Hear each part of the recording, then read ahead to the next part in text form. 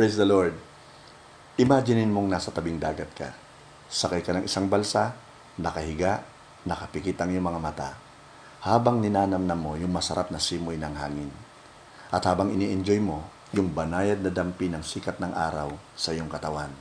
At pinakikinggan mo yung mahinang tunog ng alon. Sarap na sarap ka sa iyong position.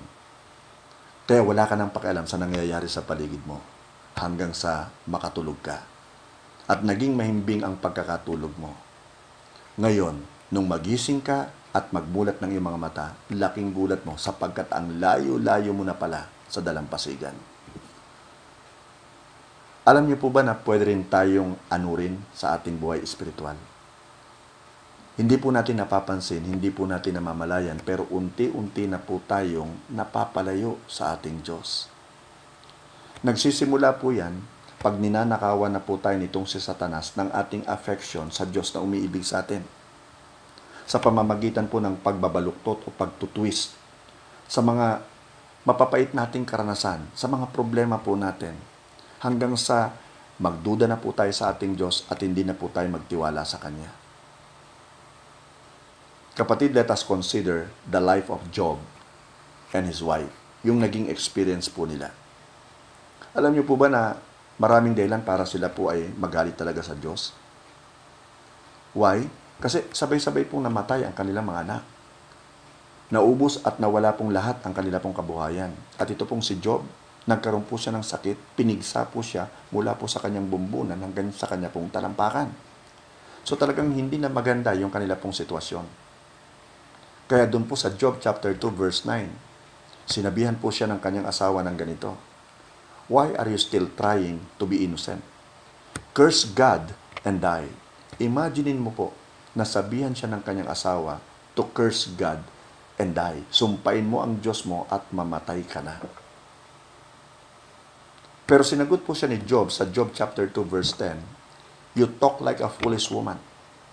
Should we take only good things from God and not trouble? So dito po maliwanag na maliwanag na magkaibang magkaiba po yung kanilang reaction dun sa the same problem that they had. Pero sa totoo lamang po, mas mabigat ang problema ni Job.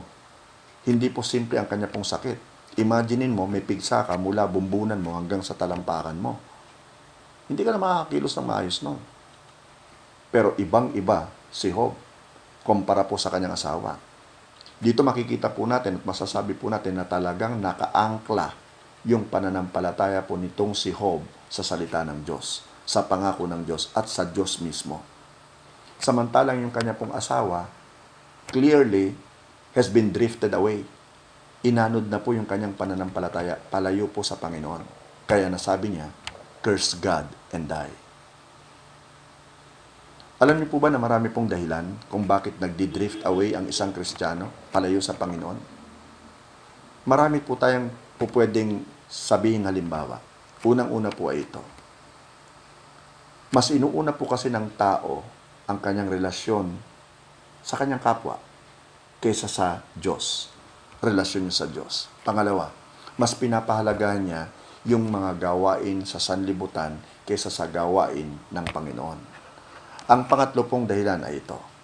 Naniniwala siyang nauunawaan siya ng Diyos sa kanya pong mga pagkukulang. Pang-apat, iniisip niyang dapat umayon ng Diyos sa kanyang mga inaasahan o sa kanyang mga kagustuhan. Panglima po, naniniwala siyang hindi lang ang Diyos ang magpapasaya sa kanya. Marami pang iba. Panganim, ayaw niyang tumanggap ng pagtutuwid. Pangpito, nagbibingi-bingihan siya pag siya ay hindi na komportable sa pangangaral ng salita ng Diyos. Pangwalo, hindi na siya nakikiisa o hindi nakikibahagi o hindi sumasama sa mga gawain ng Panginoon.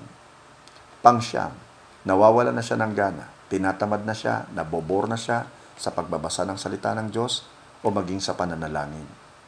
Pangsampu, hindi na niya magawang i-share ang mabuting balita sa iba. Panglabing isa, inilalayo niya na ang kanyang sarili sa mga kapatid niya sa pananampalataya. At panglabing dalawa, bumabalik na siya sa dati niyang gawin. i-check natin ngayon ang ating hearts. Ito ba ay nagmamanifest na sa atin? Nagsisimula na ba tayong bumalik sa dati nating buhay? Nawala na ba talaga yung gana natin magbasa ng Bible? Tinatamad na rin ba tayong manalangin? Ayaw na ba nating makiisa sa gawain ng ating Panginoon? Mas inuuna ba natin yung gawain sa sanlibutan? Ang kasiyahan ng sanlibutan kaysa ang mapasaya natin ng ating Diyos? Let us all check our hearts, especially now na tayo po'y nasa gitna ng pandemic. Now we all have the time para lalo tayo mapalapit sa Panginoon, lalo tayo mag-grow sa Panginoon. Nangungusap ang Panginoon sa ating lahat sa ngayon. Nais ng Panginoon tayo po ay bumalik sa Kanya at huwag nating i-allow ang ating mga sarili to drift away from Him. Kaya pag naramdaman mong nagsisimula ka ng anurin, spiritually, lumapit ka agad sa Kanya sapagkat siya lamang po yung source ng ating satisfaction.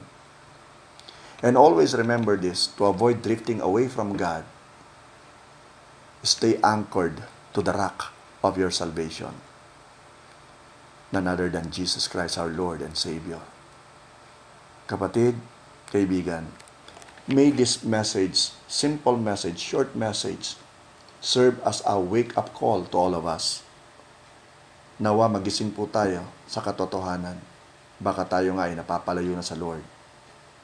Baka tayo ay nabibiktima na naman ng kaaway. Napapapaniwala na naman tayo ng jablo.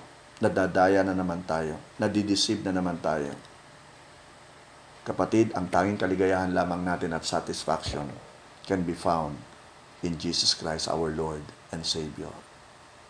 Amen. Praise God. Tayo po ay sandaling manalangin. Heavenly Father, kami po ay lumalapit sa iyo. Nagpapasalamat po kami sa simpleng itinuro mo sa amin, pero alam po namin na meaty.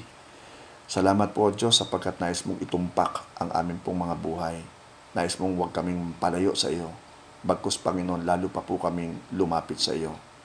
Na hindi po kami anurin, Panginoon, ng mga pagsubok sa buhay, mga problema sa buhay nito.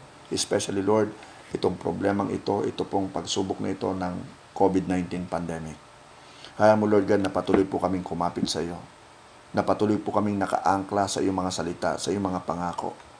Hayaan mo na hindi po kami malinlang muli ng kaaway, into thinking na hindi mo na po kami mahal, na wala ka pong ginagawang kabutihan para sa amin. Lord, we ask for your forgiveness kung ito man po ay pumasok sa aming mga isipan. Kahit nakaunting pagdududa, Panginoon, sa iyong katapatan sa amin, humihingi po kami ng tawad. Hayaan mo, Lord God, na kami nga po ay kahabagan mo. Maraming salamat po sa dugo ng aming Panginoong Kristo na sapat na po para linisin kami sa lahat po ng aming mga kalikuan, sa lahat ng aming mga kasalanan. Lord God, continue to strengthen us, even our faith in you. Salamat po sa blessed Holy Spirit na patuloy na magko-convict po sa aming mga puso, sa aming mga isipan, into thinking, Panginoon, na you are the great I am, the great Jehovah God. Salamat po. Hayaan mo, Lord God, na patuloy po kaming magising sa katotohanan that you love us, na Lord, gusto mo talagang kami ay laging magamit mo sa iyong ubasan. And Lord, we commit ourselves to you even right now. Nais po namin magpagamit sa iyo para gisingin din yung aming mga kapatid, Panginoon, na nakakatulog, nahihimbing, na didrift away na, away from you. Lord, salamat po ng maraming marami. Ikaw po ang magsilbi naming pastol sa araw-araw. Kaya mo, Lord God, na hindi na nga po kami, Panginoon, magpalindang magkailanman sa kaaway. Salamat po. Sa iyo po namin binabalik ang papuri. Sa pangalan ni Jesus. Amen and amen and amen. Hallelujah. May the Lord bless you and keep you. May the Lord make His face to shine upon you. May the Lord be gracious unto you. And may the Lord turn His face toward you and give you peace. Shalom. Amen. Glory to God.